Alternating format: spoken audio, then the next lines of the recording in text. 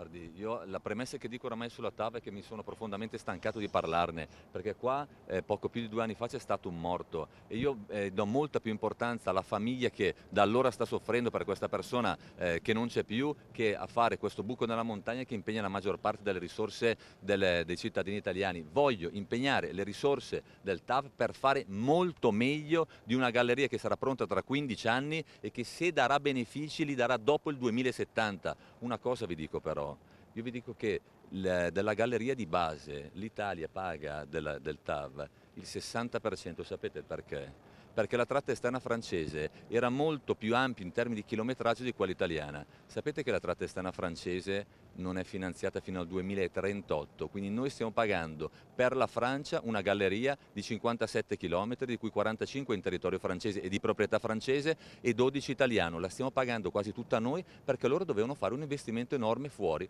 non lo stanno facendo. Io penso che i politici che ci hanno preceduto e che mi hanno preceduto si dovrebbero vergognare di impegnare soldi che magari potevano essere messi per questo ponte per manutenerlo che non crollava in testa una persona. Ma quindi lei ribadisce il no alla TAV?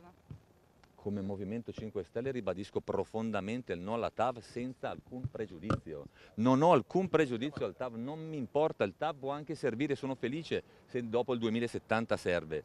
Ma io sono Ministro delle Infrastrutture e Trasporti, lei si rende conto che se domani muore una famiglia perché crolla un altro ponte io mi sento responsabile, anche se evidentemente giuridicamente non lo sono, perché avrei potuto impegnare le risorse del TAV per mantenere quell'infrastruttura e sinceramente io non voglio che questo governo si senta responsabile.